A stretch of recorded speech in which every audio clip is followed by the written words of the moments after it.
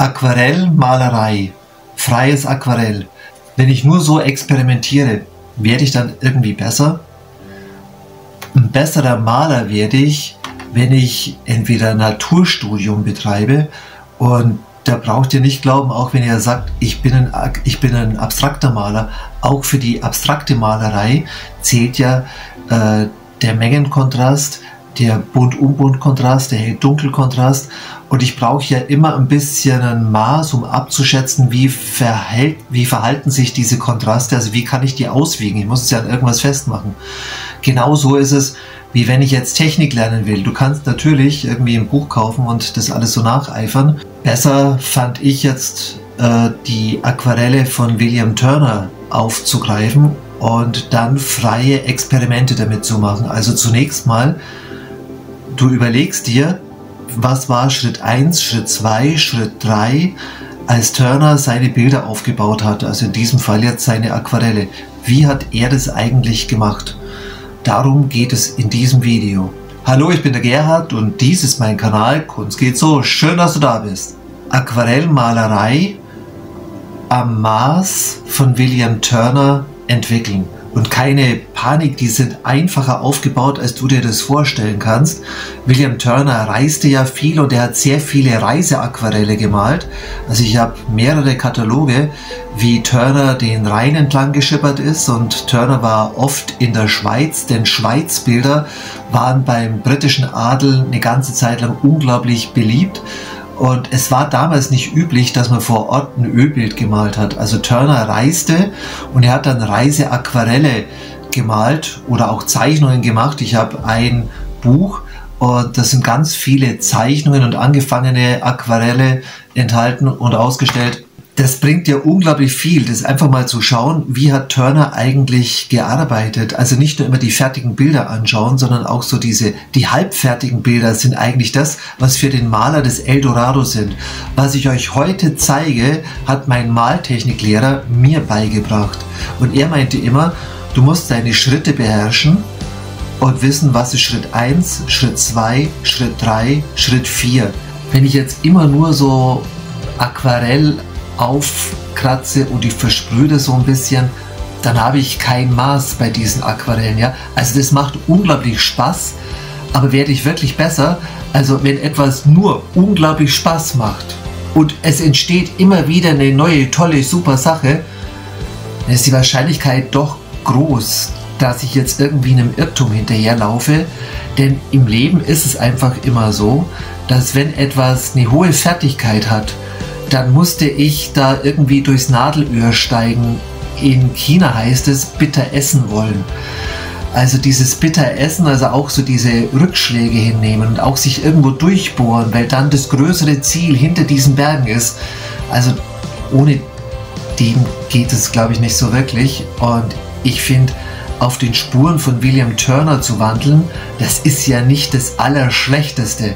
Und du musst jetzt keine Kopien machen. Also das sollen jetzt keine Kopien sein, dass jemand nicht mehr weiß, ist das ein echter Turner? Bringt dich nur in Teufels Küche sowas, ja? Also äh, du versuchst nur die Schritte zu ermitteln und du machst dann ähm, und du machst dann Studien zu seinen Bildern. Also ich habe hier ein bisschen was hergerichtet. Und zwar, und zwar, und zwar hier zum Beispiel, das ist ein Aquarell aus der, aus der Rheingegend. Und das geht los mit einer Zeichnung. Und dann hat Turner so eine Schwarz-Weiß-Anlage gemacht, vielleicht sogar vor Ort. Und das Ganze wurde dann ausgemalt, entweder so oder so Du brauchst dich nie besonders an die Farbvorlagen halten, weil wenn du das Bild nicht vor dir hast, stimmt die Farbvorlage sowieso nicht. Also ich habe Bücher aus den 80er Jahren, also der Druck war damals so schlecht, da muss ich mich nicht an den Farbton halten. Wichtig ist nur, dass der Grad der Verdünnung stimmt und dass es zum Schluss noch irgendwie ein Ganzes gibt. Das hier, das ist äh, auch in der Schweiz. Ich schreibe euch unten in die Infobox, äh, wie diese Bilder heißen und dann könnt ihr die im Internet recherchieren wenn er euch das so aufschlüsselt, wie Turner diese Bilder gemalt hat, dann werdet ihr natürlich immer bessere Maler werden. Und es ist viel einfacher, als man glaubt. Turner brauchte natürlich eine einfache Aquarelltechnik, um schnell möglichst viele Skizzen zu machen. Und ihr müsst euch vorstellen, das war so. Ein potenzieller Kunde kam in seine Galerie und sagte, er möchte ein Bild von der Schweiz. Und Turner kam dann und hat diese Skizzenbücher von der Schweiz vorgelegt. Der Kunde durfte durchblättern und sagte dann, von diesem Aquarell hätte ich gerne ein Ölbild. Und deswegen gibt es solche Aquarelle. Also so ist das, müsst ihr euch das vorstellen. Turner war übrigens der erste Touri, der sich über die gesalzenen Preise in der Schweiz monierte. Und ich würde sagen, wir malen jetzt mal zusammen dieses Bild auf Turner Spuren.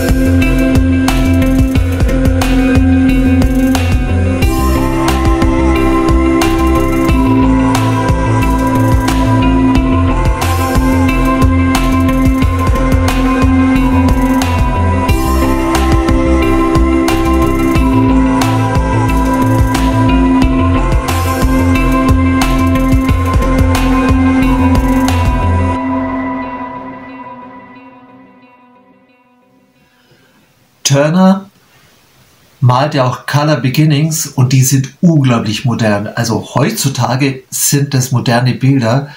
Damals hat man sich über Turner wahnsinnig lustig gemacht. Turner war natürlich ein sehr verschrobener Charakter, was daran lag, dass er mit Sicherheit auch, er lebte allein, also solange es ging, hat sein Vater den Haushalt geworfen. Äh, soweit ich weiß, war Turner einmal verlobt, aber diese Hochzeit kam nicht zustande und er war da irgendwie so frustriert, dass er da nicht mehr heiraten wollte. Es gibt ja diesen Turner-Film, Maler des Lichts, Turner Maler des Lichts oder so ähnlich. Da gibt es ja dann so eine kriminelle Szene, was er da mit seiner Haushälterin macht. Ich finde das eine unglaubliche Sauerei, was der Filmemacher sich da erlaubt hat. Denn in den äh, in dem Anhang zum Film sagt er dann, es ist gar nicht bekannt, ob irgendwas mit einer Haushälterin zustande kam, ob die überhaupt in seinem Haushalt war, äh, ob da irgendwie eine Annäherung an die gewesen ist, sondern diese Szene hat gut in den Film gepasst. Also wenn es kriminell wird, finde ich schon, das hat schon ein Geschmäckle, finde ich. Also da war ich ziemlich auf Distanz, deswegen mag ich den Film auch nicht. Turner hat aus diesen Color Beginnings, und du musst dir mal so ein Turner-Buch kaufen, oder wenn du die Möglichkeit hast, geh äh, zu einer Turner-Ausstellung und schau dir diese Aquarelle an und schau dir mal diese Color Beginnings an. Also so hat er angefangen zu malen. Und aus diesen Color Beginnings konnten unter Umständen äh, Bilder entstehen, wo man sich dann später fragt, ja, wie hat der die eigentlich angefangen? Naja, er hat sehr offen und sehr locker gemalt. Also Turner, das war so ein Teil seines verschrobenen Charakters. Er hat einfach gerne gemalt und er hat Pigmente dazu verwendet. Also es gibt immer noch Anmerkungen des, des, des Farblieferanten, wo der Farblieferant sagt, er rät dringend vom Gebrauch dieser Farbe ab. Das ist nur ein Theaterpigment. Das ist überhaupt nicht lichtecht, aber das war ihm einfach egal. Also in seiner Galerie zum Beispiel äh, waren die fertigen Bilder in einem hinteren Teil, da war das Dach auch nicht ganz dicht, das war ihm auch egal. Und äh, da stand ein großes Bild und dahinter war irgendwie eine Öffnung, wo die Katzen rein und raus konnten. Und hat einfach ein Loch in das Bild geschnitten, also der Legende nach, ja, also ich war nicht dabei. Und er hat dann ein Loch in das Bild geschnitten, damit seine geliebten Katzen leichter in die Galerie reinkamen und wieder rauskamen. Also das ist schon wirklich ordentlich verschoben. Also das muss man schon sagen. Man muss immer dazu sagen, dass wir ja auch nicht wissen, vor allem nicht aus dieser Entfernung, was führte jetzt Turner zu so einem eigenartigen Leben? Also ich habe mal gehört, dass er morphiumabhängig war. Also du musst dir vorstellen, das war damals eine einfache Sache. Du gehst zum Apotheker und du sagst, dass ich bin immer so komisch unruhig. Ja, und dann gibt er dir halt Morphium. Also die Sissy, die Kaiserin Sissy, war ja angeblich koksabhängig. Die muss ja gesaugt haben wie ein Staubsauger äh, weil die einfach so ein bisschen depressiv waren. Dann hat mir denen echt dieses Zeug gegeben. Gell? Also das wusste man nicht, was das für Nebenwirkungen hat. Das kam dann erst im Laufe der Jahre.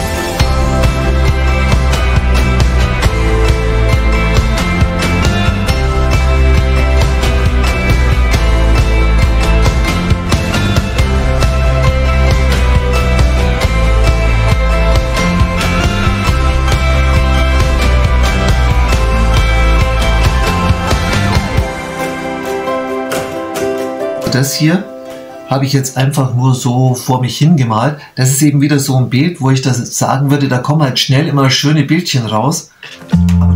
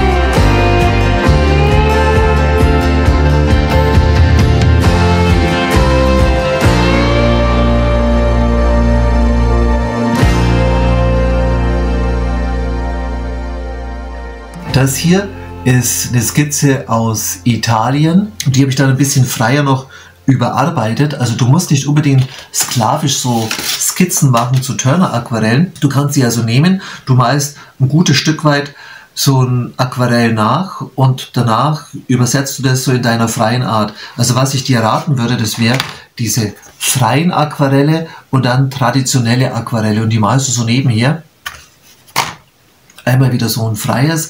Da kannst du dich echt an den Color Beginnings orientieren, die sind richtig klasse. Und dann wieder so ein, ein traditionelles, wo Turner eine Szene wiedergibt. Also hier zum Beispiel. So. Edinburgh, Blick auf Edinburgh. Und hier hat Turner ganz strukturierte Schritte verwendet, um Edinburgh schnell darzustellen. Und man darf hier nie vergessen, diese Aquarelle, die waren nie zum Selbstzweck gemalt. Also die standen jetzt nie, die waren nicht ausgestellt oder so, sondern das waren Notizen, nach denen dann ein Ölbild gemalt wurde.